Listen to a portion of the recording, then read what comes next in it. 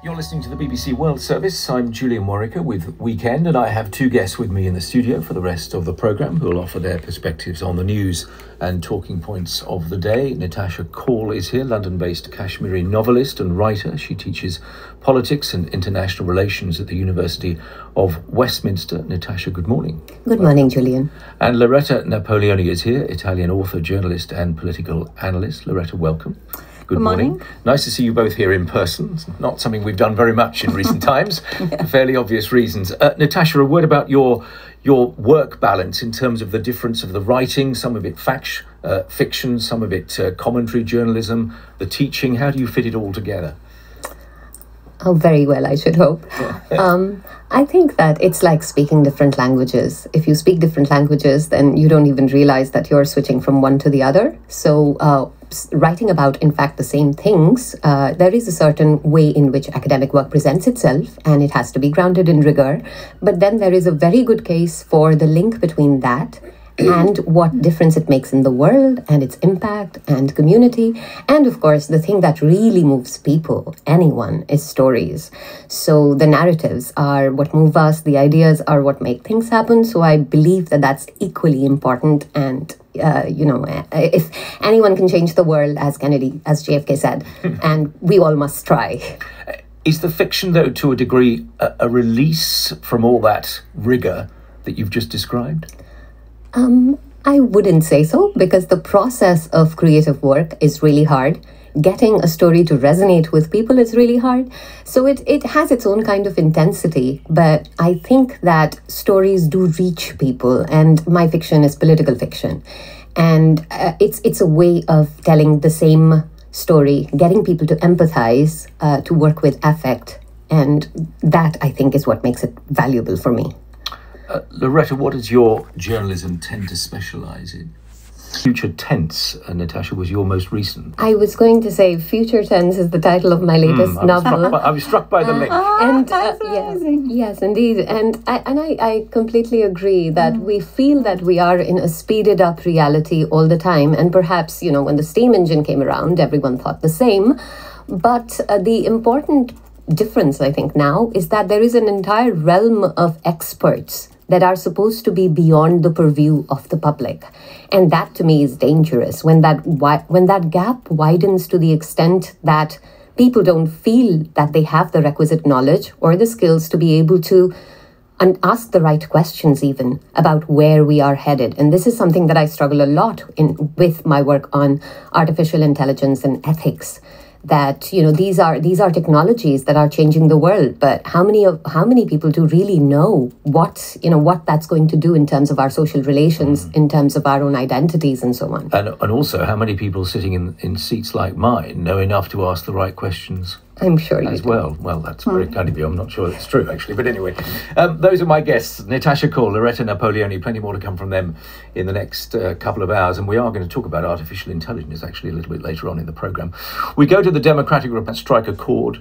Absolutely. You. I was thinking of that, that while these are very complex conflicts uh, and the scale of tragedy is, of course, almost hard to grasp, the, the basic matter is that governments must be inclusive and especially where countries are very diverse. And the lack of having governments that have representations from different regions that, that are not inclusive is what makes people feel unrepresented. And then there are, of course, the competing interpretations. Um, if you know, if you ask me, I think that the idea of ethnic conflict is all too often used in the context of, especially the African continent, as a go-to uh, thing. Uh, and ethnic ethnic uh, divisions are important, but the economic interests and the other kinds of strategic interests are equally important to uncover. So, for instance, the Rwandan in, uh, economic interests in Eastern DRC, uh, you know, those sorts of questions are are really vital. And um, and I think that um, that the way forward, as with this conflict, and of course it looks very pessimistic right now, is diplomacy. And again, regional diplomacy. Kenya has played a role, but like you said, you know, solutions from within. Uh, Loretta, would you would you echo that because you take out of it? I may just begin by saying uh, it's so great that you're doing two stories on uh, you know on Africa to begin with because it's really important to challenge Afro pessimism and we must really know more about what's going on in a continent and in countries that are geographically not very far from us but empathetically seem to be really far. I think it's both inexcusable and incredible that 95% of all uh, malaria uh, cases and deaths happen in Africa and we still don't have a solution for it. Uh, during COVID, the lack of vaccines in many African countries became important. So the, the whole point about differential worth of life and our need to focus on saving lives, lives and human potential at a planetary level is really important. And so this is this is a step forward. Uh, it's great that they're doing it. Uh, the Oxford vaccine, which does seem to have a much greater efficacy, and, and she did say that that's going to be rolled out too, uh, hopefully will pave the way for these lives not to be lost. Mm. it is a, a, completely, you, you know, uh, in, in uh, un- unbelievable yeah. that so many young children have to die. and it's taken so long to even get to this point yes. as well. I mentioned your writing, and we talked about that a little bit earlier on, but I know you have a connection with Bhutan. Take us to Bhutan. Even put it on the map for many of us. Yes. Um, so one of my articles begins with the words "Where is Bhutan?" on the asymmetric, uh, you know, asymmetric in betweenness of Bhutan in geopolitics. It's a you know traditionally described as a small country in between India and China, and that seems to be the exhaustive way in which it is seen. However, I would like to tell the listeners that it's a country that had a very interesting transition to democracy uh, in t- 2008 uh, when uh, uh, which was you know top down in the sense that people weren't happy with the move to a democracy and had a referendum been conducted at the time about the desirability of this transition it would have failed. So it's a country that that's had that. It's also a country that's pioneered the concept of gross national happiness as a, a, a you know as a challenge to just a purely material focus on well-being. Uh, it is a country that mandates 60% of its uh, of its territory remain under forest cover in perpetuity as per its constitution, uh, which is also a sensible move because it is a high, you know, fragile, high altitude ecosystem, mm. and climate change is a big threat for the country. Um, it's it's a if you said take me to Bhutan, so yeah, you're on a Druk Air plane. You see the shadow of the plane on the mountains. It's one of the shortest runways anywhere in the world. The airport doesn't look anything like an airport. All architecture is traditional and beautifully carved.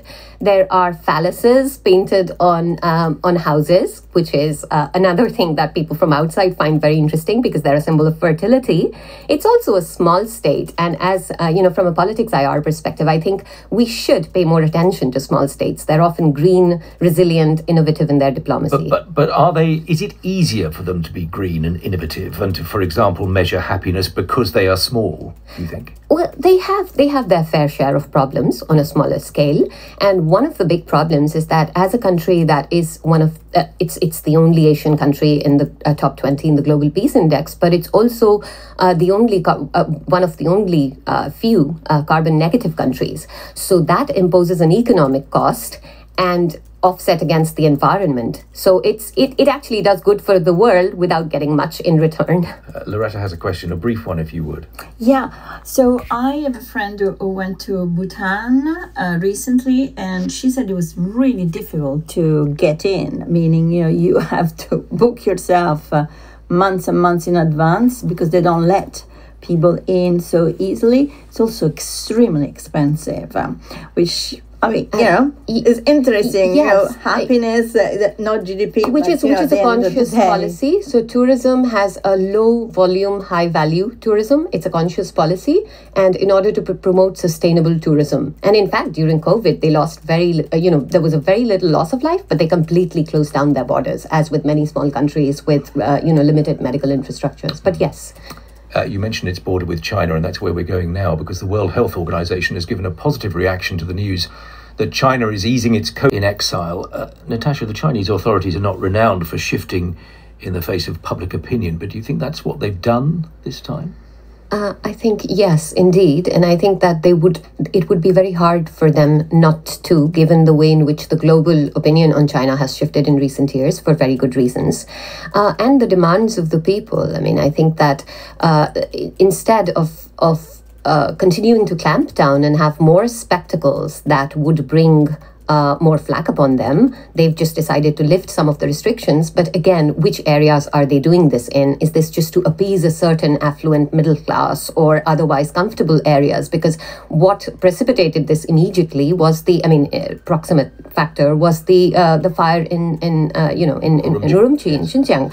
And uh, in, in that context, I think globally to us looking on, I, I am, like many others, in absolute awe of these protesters in China. And they should also tell us to challenge the stereotypes that are very common in the West. This idea of Chinese people equals Confucianism equals conformity. These are people, you know, the, the yearning for uh, freedom and rights is universal. And these protests have shown that even the strongest, most authoritarian states have to, uh, at some point, recognize that. Uh, this is not, though, Tiananmen Square, Loretta. No, no, no, it's not. Uh, um, I think this potentially is much more serious because Tiananmen Square was mostly student. Uh, it was, you know, an elitish. Can I just very quickly say, no, I would want to add that they are also in power because they have the entire authoritarian infrastructure of the state of and repression. Yeah.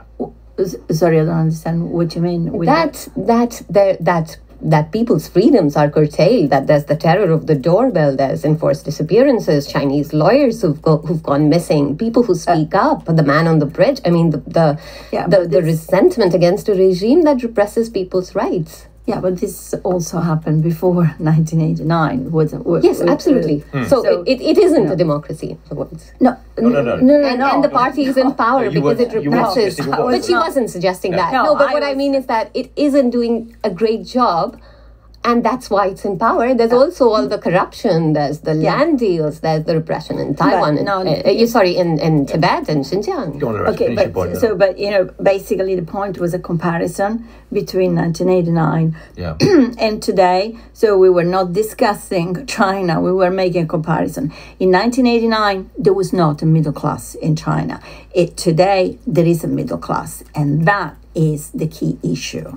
Sure, they're they're doing. I think that economically they've done, they've done way better, but I still think that the repression was there in 1989 and it's there now. Yeah. So I think you're in agreement on that. yes. yes. Good. 23 minutes past the hour. Um, so I'll come to you in a moment. Um, Loretta, there's a bigger Nitasha. You're nodding at that last observation. Thank you. Yes, I completely agree that as uh, you know, as fiction writers and filmmakers and creative artists have the ability and should have the rights and the ability to make films and and write about all sorts of things. However, the issue in the present context is that this film is part of an ideological investment in in the divided in the divided state of Kashmiris, divided along religious lines, that in fact also fuels and perpetuates the conflict. So the entire point of the film is to undermine that solidarity, and because it's this simplistic Islamophobic uh, morality tale, it presents all Kashmiri Muslims as vile, lecherous, etc., and problematic, and Hindus as the the righteous victims.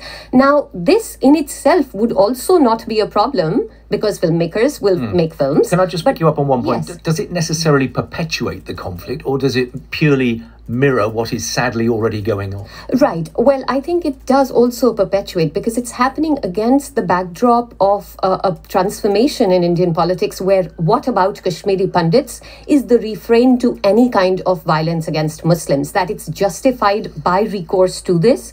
And therefore, it, it has a clearly divisive message, and the fact that it's it has been endorsed by figures in government a government that actually, uh, surprisingly, does not even have a single Muslim member of parliament.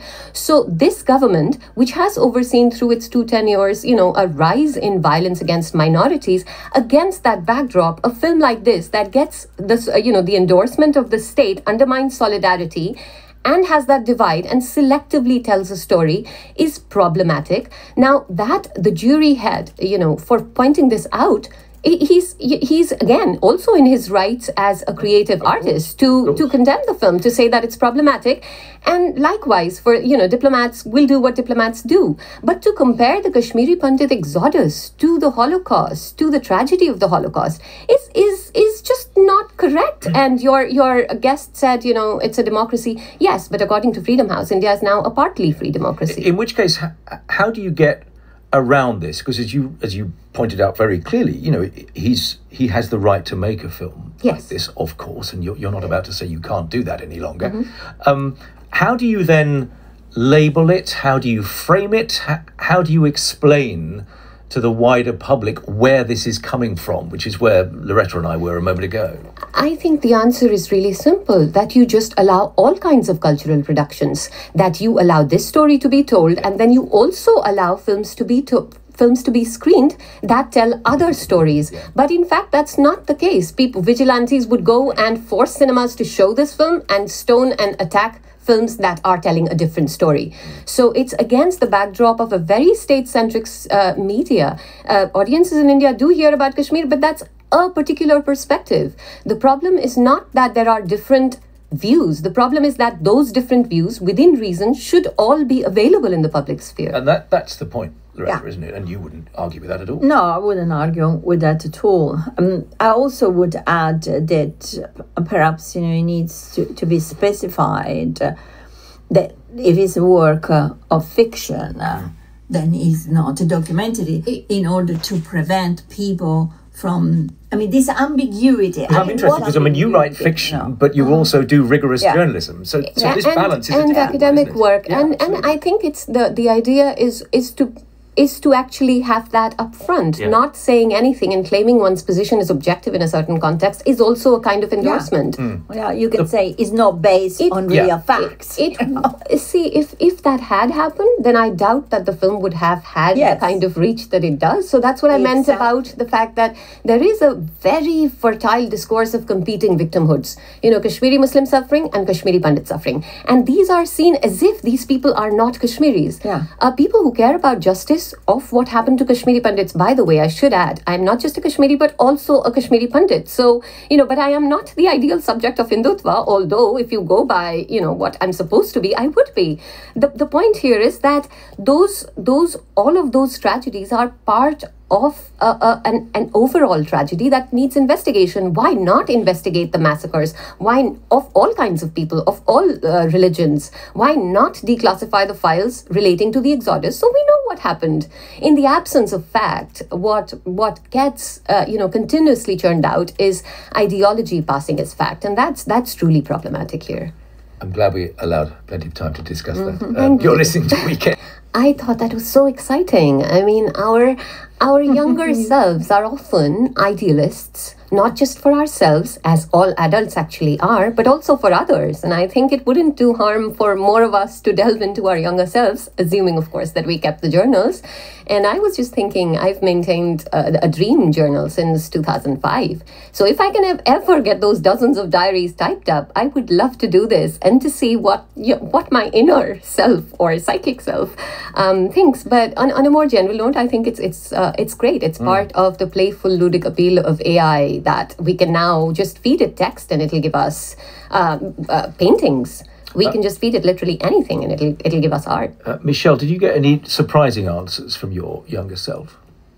Hmm, I think the most surprising answer I got was actually when I asked my younger self what she thought was the greatest systemic issue in the world. Um, you know, it's at the moment is quite extraordinary in the face of winter and what that might bring. Absolutely. I mean, the tragedy of this conflict and the fact that we still have this kind of territorial conflict in the 21st century and that drags on for as long. Um, the the I, I quite liked the description of those places of refuge as points of invincibility. I thought that was very striking and uh, and and hopeful. Uh, I do hope, though, that uh, that uh, sooner rather than later that there is a conclusion to the hostilities because the Ukrainians deserve better. The Ukrainians um, um, must be supported as they have been. And I truly hope that the winter does not bring the kinds of attacks that were being hinted at because uh, people are have already been struggling for so long. And then uh, the, the winter already is very harsh. Uh, Loretta, you must fear for the winter here. You're talking about a conclusion. Uh, yes, and uh, and I think that uh, the the fact that the NATO allies have have steadfastly been in support, and that the the new uh, oil price cap is is in effect. Mm. I think all of these, plus the the making it difficult for oil tankers, Russian oil tankers, to get insurance, uh, all of those those things hopefully will contribute also to realization within Russia that this isn't. well, this isn't right and it mustn't go on. Well, I mean, the narratives in this war are equally important because the places where there isn't a strong enough feeling against Russian aggression are also the places where a certain weaponization of history, irredentism, etc., has played well and that uh, you know that anti-western sentiment i think will become even more important in international politics and we must find all sorts of ways to address that at, at that level as well it's uh, 21 minutes. I'm clearly will not. Uh, we've not got a great deal of time, so I just want to bring my guest in for a brief observation and then I'll come back to you for a final word. Nitasha, what do you take out of this? Well, I think that I entirely agree that it can be clumsy curiosity, uh, but to then insist and uh, where a person really is from and to want to know if that is specifically Africa is problematic. I think racism has no place in any society, and age and uh, status is not an excuse. I was very heartened by the palace response. I do think that this is also about a recitation of of power hierarchies.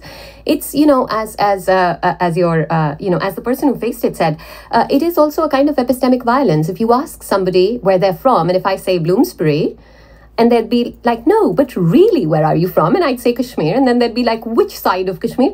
It is i mean one must also interrogate the desire to deny somebody the right to uh, have an affinity and a belonging for wherever they want to. And I think that this this also often indicates a very problematic understanding about the past that certain people cannot, even in a civic nationalist as opposed to an ethnic nationalist country, be allowed to belong. Um, brief thought, Loretta. The palace has been pretty strong. And were you encouraged by the palace reaction?